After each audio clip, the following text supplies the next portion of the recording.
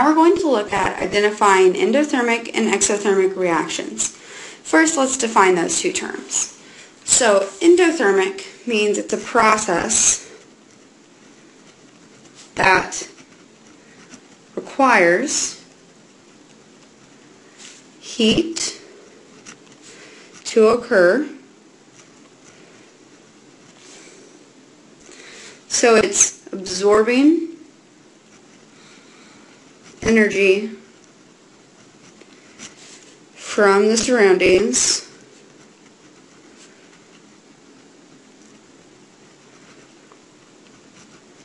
in the form of heat.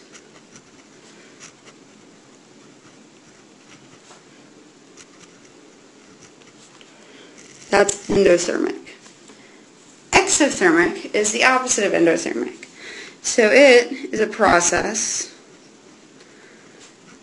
that releases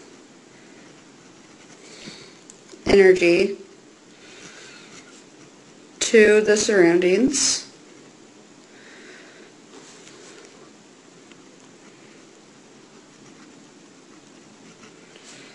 in the form of heat.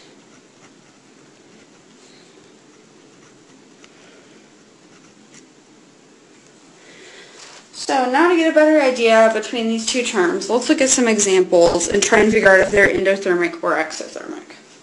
So our first example is a cold pack. And those are like the packs you see with um, like sports injuries or injuries. So they're used with injuries to provide instant cold.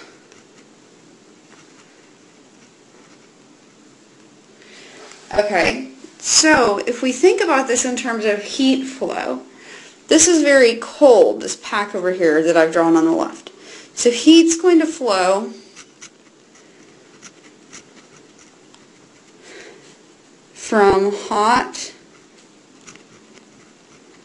to cold. And that's the main thing that's going to help us out with this.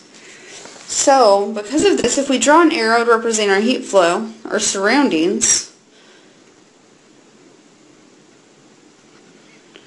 are going to be much hotter than the pack. So our heat flow is going to go towards the pack. And if we look at our definitions, what um, which one describes heat flowing into the process?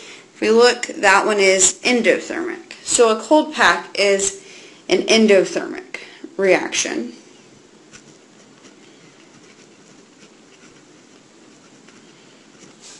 Because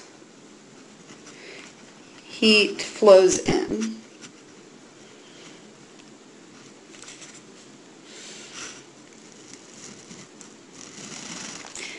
And also get another example of burning wood. So um, if we compare our surroundings,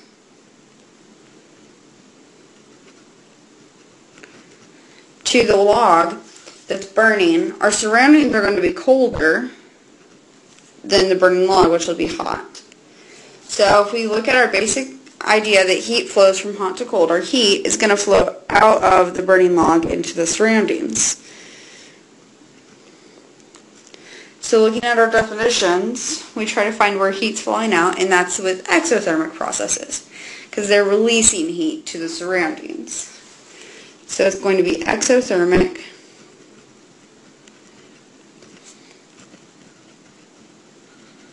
because heat is released to surroundings.